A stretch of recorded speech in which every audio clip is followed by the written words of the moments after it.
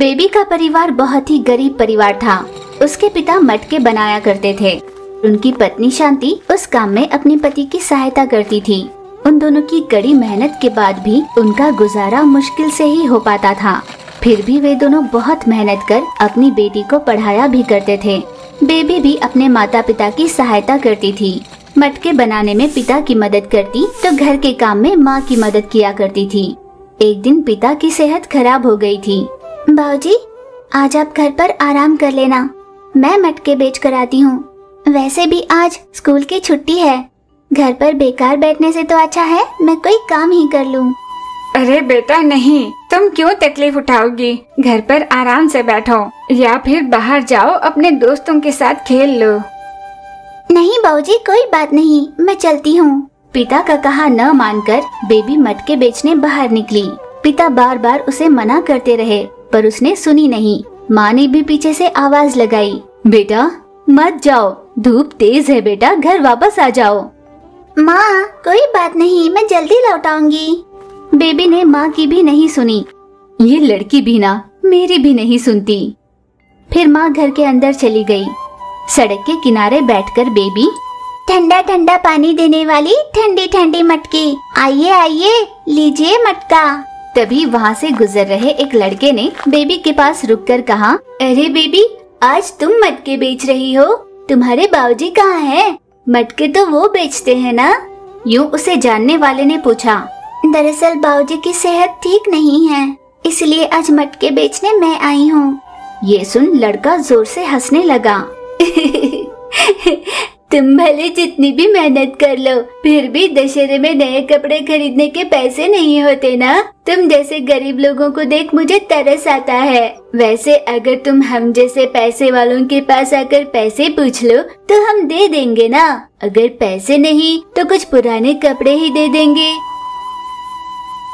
आपके पास पैसे ज़रूर होंगे, पर औरों से बात करने की समझ और संस्कार नहीं है। माना कि हमारे पास पैसे नहीं, पर भगवान की दया से हमारे पास बाकी सब कुछ है। बेबी ने गुस्से से सारे मटके समेटे और वहाँ से निकल पड़ी। जेब में फूटी कौड़ी नहीं, और तेवर तो देखो इसके। लड़का भी वहाँ से वापस लौटा। दिन भर घूमने के बाद भी बेबी केवल दो या तीन ही मटके बेच पाई थी। बेबी थक हार कर घर वापस लौटी। तुम्हें इतनी मेहनत करने की क्या ज़रूरत थी? छाछ पी लो। बेबी ने छाछ पिया और पैसे देते हुए बोली, माँ, ये लो पैसे। आज मैं सिर्फ़ दो ही मटके बेच पाई। हाँ बेटा, कोई बात नहीं। जितने मिले उतना ही सही। माँ वापस घर के अंदर चली गई। बेबी वहीं खड़े खड़े कुछ सोच रही थी कि पिछले साल दशहरे के दिन उसने कितना बड़ा हंगामा किया था। दशहरा बस कुछ ही दिनों में था। तब बेबी ने माँ से कहा, माँ, दशहरे की छुट्टियाँ लगी है ना? हमारी टीचर्स हमें कहीं पिकनिक पर ले जाना चाहती हैं। हमें इस पिकनिक के लिए पूरे पंद्रह सौ रूपए चाहिए और पाँच दिनों में पहनने के लिए तरह तरह के कपड़े। और दशहरे के दिन त्योहार हम वहीं पर मनाएँगे।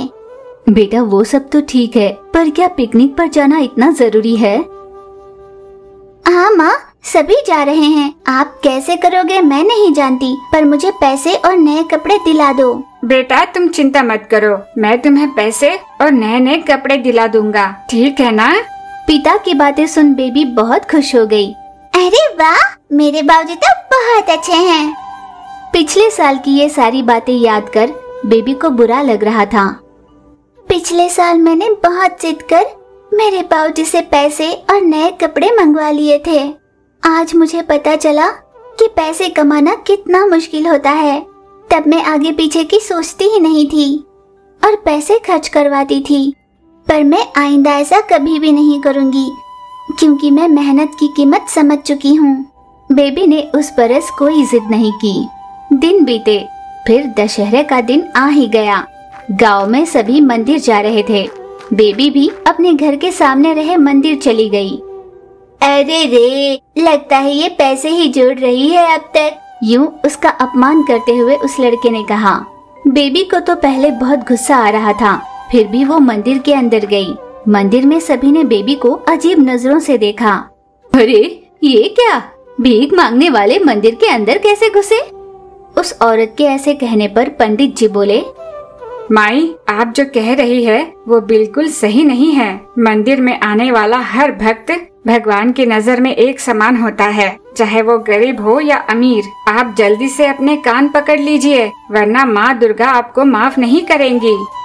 बेबी ने उसके पास रहे पैसे देते हुए पंडित जी से कहा पंडित जी ये पैसे रख लीजिए। दरअसल मेरे दोस्तों ने दशहरे के दिन मैं भी उनकी तरह नए कपड़े पहनो इसलिए मुझे दिए थे। पर मैंने नए कपड़े खरीदे नहीं इसलिए आप इन्हें दुर्गा माँ के चरणों में रख दीजिए। मेरे जिन दोस्तों ने भी मुझे पैसे दिए थे ना उन सभी का कल्याण हो ऐसे भगवान के चरणों में प्रार्थना कर रख दीजिए।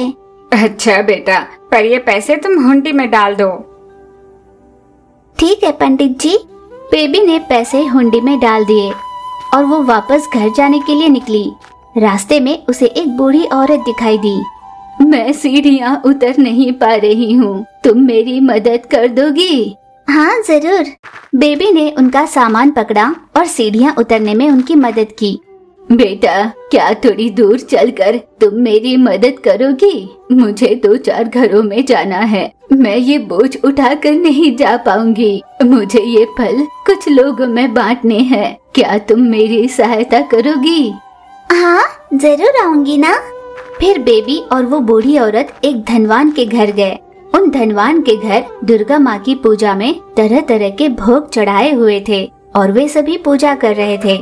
उस बूढ़ी औरत को देख आइए आइए माँ जी आपको देख लगता है जैसे मैंने साक्षात दुर्गा माँ को ही देखा हो। भोजन कर लीजिए।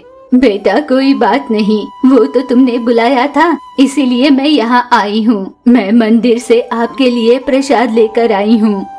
उस औरत ने बूढ़ी औरत से प्रसाद लिया। माई ये लड़की कौन है? वो वो मेरी पोती है। ये कहने पर धनवान औरत ने बेबी को कपड़े दिए। नहीं नहीं मुझे नहीं चाहिए।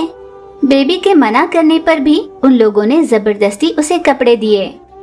वे दोनों भोजन कर घर से बाहर निकले।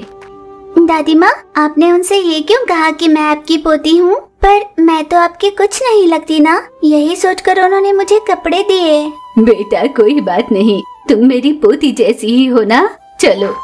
फिर वे दोनों एक गरीब के घर गए। गरीब परिवार अपनी यथाशक्ति अनुसार दुर्गा माँ के सामने भोग चढ़ाकर उनकी पूजा कर रहे थे। उस बूढ़ी औरत को देख बहुत अच्छा लगा कि आप यहाँ पर आई। बैठिए ये प्रसाद लीजिए। उस औरत ने घर में बनाया प्रसाद उन दोनों को दिया। उन दोनों ने प्रसाद लिया और घर से बाहर निकले। बेबी कुछ सोच रही थी। क्या हुआ बेटा? क्या सोच रही हो? दादी माँ दुर्गा माँ की नज़रों में हम सब एक समान है ना? हाँ बेटा। तो फिर जो बहुत धनवान होते हैं वो दुर्गा माँ के सामने तरह तरह के व्यंजन भोग में लगाते हैं। उन्हें रेशमी साड़ी पहनाते हैं और उनके यहाँ पर आए कई भक्तों को भी रेशमी साड़ी देते हैं। पर अभी हम जिस घर से लौटे हैं, वे तो बहुत गरीब है। तो क्या माँ दुर्गा उनके चढ़ाए भोग को स्वीकार करेंगी? हाँ क्यों नहीं करेंगी? माँ की नज़रों में सभी भक्त एक जैसे हैं। मनुष्यों में ही अमीरी गरीबी का भेद होता है। माँ के दरबार में नहीं, माँ के लिए सब एक समान है। चाहे वो राजा हो या रंग, माँ तो बस भक्तों की भक्ति से ही प्रसन्न होती है। यू बात करते हुए वे दोनों कई घरों में जाकर आए।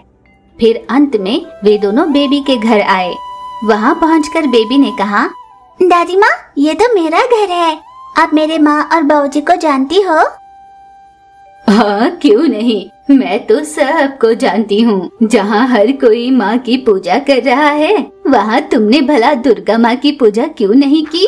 फिर वे दोनों घर के अंदर गए। बेबी के माता पिता उस औरत को यूँ ही देखे जा रहे थे। उन्होंने उनसे पूछा ही नहीं कि वो कौन है, कहाँ से आई है। पूजा होने के बाद, ये रख लीजिए, मैं तुम्हें प्रसाद देना भूल गई। उस बूढ़ी औरत ने उन्हें प्रसाद दिया। दोनों ने उस प्रसाद को लिया। अच्छा तो मैं चलती हूँ।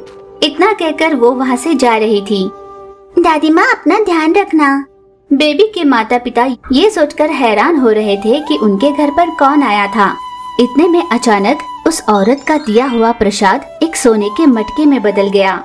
सोने का मटका देख उन तीनों की आँखें चमक उठी। वे तीनों समझ गए, साक्षात माँ दुर्गा ही आई थी।